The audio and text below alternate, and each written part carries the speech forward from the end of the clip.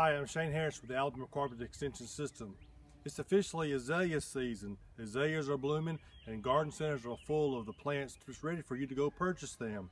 So what do you do with the azaleas once you've impulsively bought them or you brought some home for the new landscape? Today we're going to show you how to plant those azaleas. When it comes to site selection on your new azalea, you need to take a lot of time to look where you're going to want to put this particular plant. Does it need to be near the house? Does it need to be more of a natural area? You want to give it room to grow. Azaleas prefer filter sun and afternoon shade. In other words, they would prefer morning sun, maybe more shade in the afternoon. They will tolerate sun, but they can get very hot in the summertime. Also look for an area that's going to be well drained. Azaleas prefer well drained soil. They cannot have any wet feet. So an area that provides filtered sun, maybe under pine trees, just a few hardwoods, maybe an open area that gives them plenty of sun in the morning and afternoon shade when it's hot this summer is going to be ideal. Azaleas should be grouped together based on color or variety and spaced properly around 3 to 4 feet apart depending on their maturity size.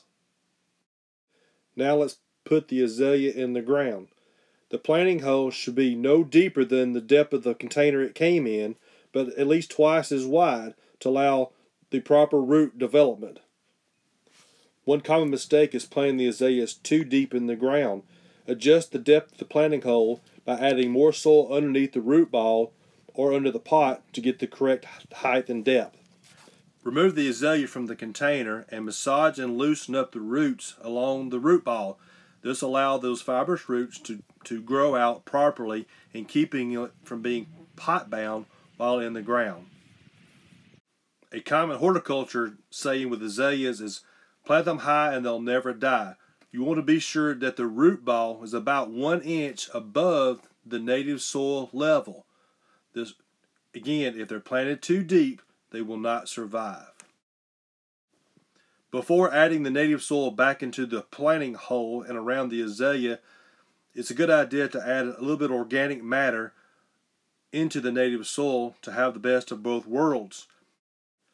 Common soil amendments would include compost or fine pine bark or other store-bought soil amendment. Almost finished. Let's add the native soil and organic matter mixture back around the azalea gently pushing it on each side and pressing downward so that root ball is covered and all air pockets are removed. Be sure not to bury the plant above the top of the root ball. Gently spread it out and firming the soil with your hands. Now add a layer of mulch around the plant. Choices could be pine straw or even pine bark. This is very critical for the first year of the azalea as it will lose moisture since its roots are not fully established. This is very critical the first year to maintain that moisture in order to can survive the hot summers. The last step is to give the azalea a drink of water. You will want to water the azalea at least once a week depending on the amount of rainfall and how hot the summers may be.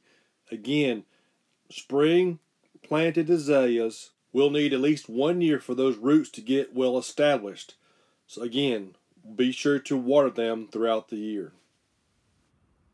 Azaleas are one of our prized southern landscape plants because they last so many years.